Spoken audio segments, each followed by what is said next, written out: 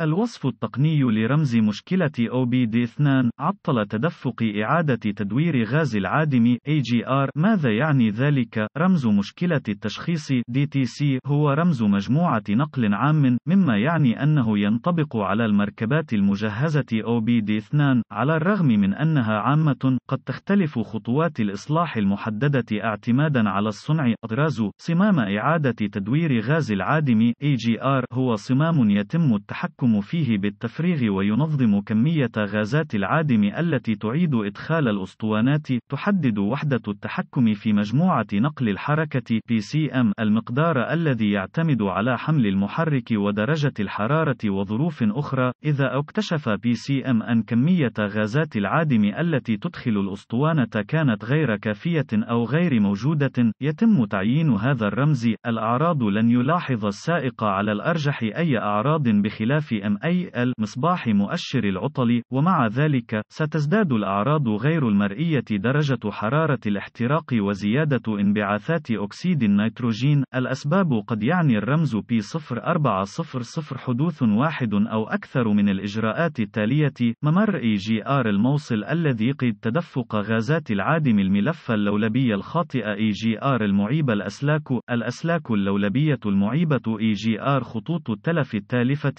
المفصولة إلى الملف اللولبي لصمام EGR أو إلى صمام EGR الصمامات الخاطئة لصمام EGR الحلول الممكنة لأن تصميمات صمام EGR مختلفة. لن يكفي اختبار واحد. باستخدام أداة المسح قم بتشغيل صمام EGR أثناء تشغيل المحرك. إذا تعثر المحرك فمن المحتمل أن تكون المشكلة مشكلة في الأسلاك المتقطعة أو مشكلة انسداد متقطع إذا لم يعثر المحرك فقم بتشغيل صمام EGR دويا إن أمكن إذا لم يعثر المحرك ويموت فمن المحتمل أن تكون المنافذ موصلة سيكون مطلوبا إزالة الصمام وتنظيف جميع المنافذ يمكن التحقق من الملف اللولبي عادة باستخدام أداة مسح فقط لأن معظم الملفات اللولبية تعمل بدورة عمل للجهد بدلا من الجهد المستمر افحص جميع خطوط التفريغ والخراطيم وما إلى ذلك ابحثا عن أي تلف افحص بصريا اللولب اللولبي والملف اللولبي للتلف استبدل صمام EGR رموز EGR ذات الصلة